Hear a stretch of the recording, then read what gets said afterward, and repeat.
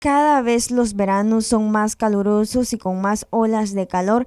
Esto puede ser un gran peligro para las personas mayores de la sociedad y que tienen diferentes tipos de enfermedades, ya que puede comportar graves problemas para la salud. Por esta razón, es importante tomar precauciones ante las altas temperaturas, recomienda médico. Es necesario advertir a personas que son propensas a sufrir accidentes a consecuencia de estas altas temperaturas, eh, de tomar algunas medidas de precaución. Estamos hablando de personas de tercera edad en general y en particular aquellas personas de tercera edad que tienen padecimientos crónicos, personas con hipertensión, personas con diabetes, personas con enfermedades cardiopulmonares, cáncer, etcétera, deben de tener muchísimo cuidado. Las personas con diabetes, por ejemplo, de tercera edad, recordemos de que no son muy propensas a tomar líquidos.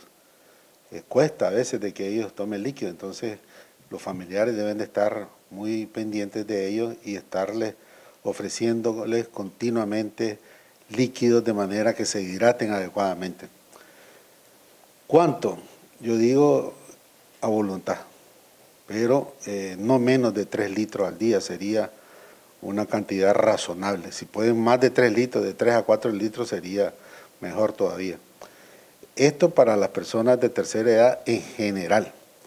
Las personas con diabetes, con una diabetes mal controlada, por ejemplo, que tienen niveles de azúcar bien altos, recordemos que uno de los signos clínicos es la orinadera frecuente.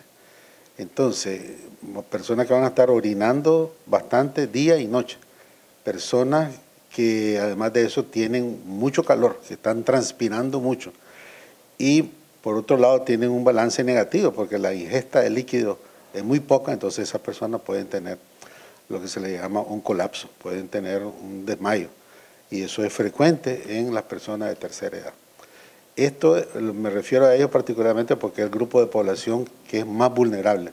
Medina dijo que los niños también son vulnerables y que se debe evitar la exposición directa del sol. Evitar, por ejemplo, la exposición directa del sol o estar en ambientes cerrados, no ventilados durante un periodo de tiempo prolongado. Noticias 12, Darlene Telles.